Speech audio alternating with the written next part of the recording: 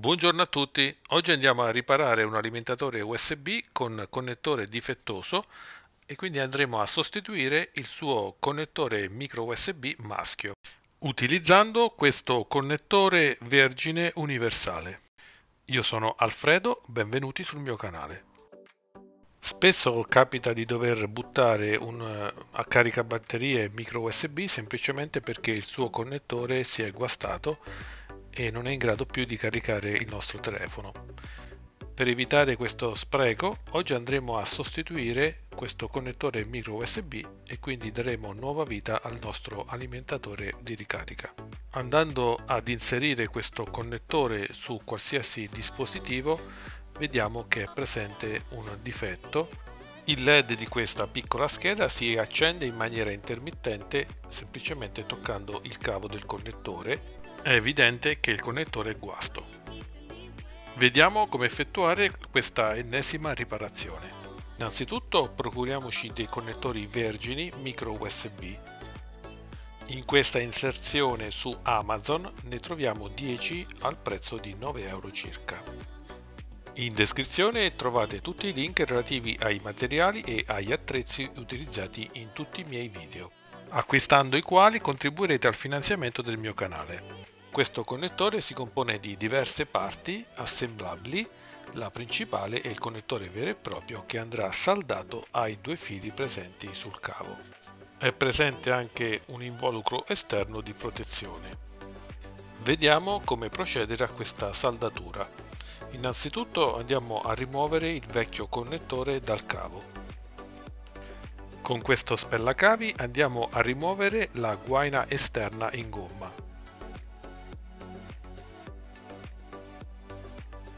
Successivamente con la spella fini andiamo a spellare i due fili positivo e negativo di alimentazione, rispettivamente rosso e nero.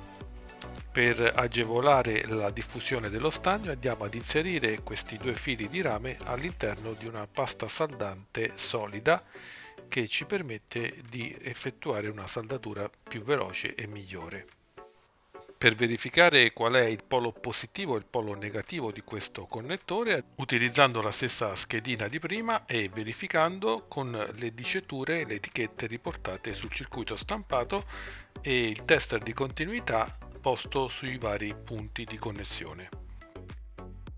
Con il tester di continuità verifichiamo il polo positivo secondo l'etichetta riportata e il polo negativo. Una volta individuato il positivo e segnato in rosso possiamo procedere alla saldatura. Controlliamo da vicino queste saldature e chiudiamo con l'involucro esterno.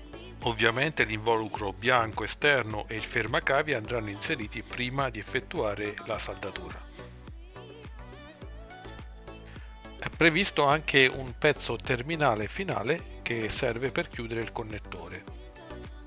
Prima però personalmente preferisco inserire una goccia di colla a caldo all'interno di questo connettore per bloccare meglio i cavi sul connettore stesso.